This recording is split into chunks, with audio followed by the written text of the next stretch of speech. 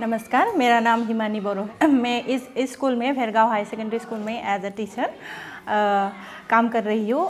जो इस टाइम हमारे स्टूडेंट बहुत ही डिफ़िकल्ट का सामना कर रहे थे क्योंकि उन्हें अपने मदर लैंग्वेज से आके किसी और लैंग्वेज में पढ़ना पड़ता था इलेवन ट्वेल्व का। तो इसके कारण उन लोगों का मार्क्स इतना नहीं उठ पाता था जितना कि होना चाहिए। परसेंटेज बहुत कम हो जाता था। बट अभी जब अपने लैंग्वेज में पढ़ने को मिलेगा, अपने मदर टंग में पढ़ने को मिलेगा, आशा रखती हूँ कि अपने मार्क्स या परसेंटेज में बहुत ज़्यादा इनाफा होगा। तो पहले जैसे ये ये हिस्ट्री का बुक है, अभी अपनी लैंग्वेज मदर मदर लैंग्वेज में आया है। पहले यह सब हमें इंग्लिश में पढ़ना पड़ता था, जिससे, जिसके कारण उन्हें समझ में नहीं आता आता था कभी कभी तो इसलिए अभी जब ये अपना लैंग्वेज बोरो में हुआ है तो काफ़ी सारा चीज़ जो हिस्ट्री का है, उन्हें अच्छे से समझ में आएगा। अभी तो ये सब, अब हमारे जो जनजाति है, उसे काफ़ी ज़्यादा फ़ायदा होगा। इससे अपनी हिस्ट्री को समझने में या उस, उसकी जानकारी अच्छे से मिल पाएगा। तो इसी वजह से ये सब बहुत ही अच्छा हो रहा है। इसके लिए काफ़ी इसके लिए आप किसको धन्यवाद देना चाहेंगे? इसके लिए हमें हमारा जो बोरो ठुनला याफात उसके साथ स्टूडेंट बोरो स्टूडेंट यूनियन और साथ ही हमारा बीटीए बीटीए डी गवर्नमेंट साथ ही असम सरकार को भी हमारी तरफ़ से धन्यवाद।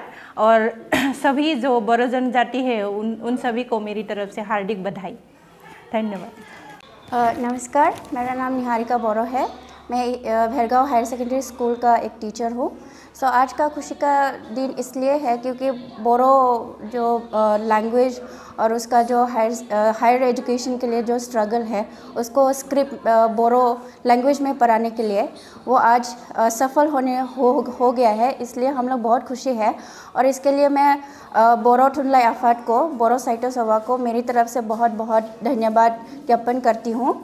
और मैं खुशी है और इसलिए मैं I will continue my struggle to teach as a teacher and give my effort as much as possible to this school and to the society as well as to the language for their development and for their uh, progress. Thank you.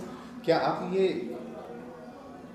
ये मानते हैं कि जो Bodo language है, Bodo language के मतलब जो छात्र छात्री है, उसमें अपने बोडो भाषा में सीखने से और भी बढ़िया होगा, ये सोचते हैं मानते हैं हाँ जी, ये एक बहुत पहले से एक प्रॉब्लम था क्यों क्योंकि वो लोग छोटे से ही बहुत बोरो लैंग्वेज में पढ़ के आता है, फिर सडनली जाके इलेवन में इंग्लिश हो जाता है इंग्लिश में पढ़ना पड़ता है।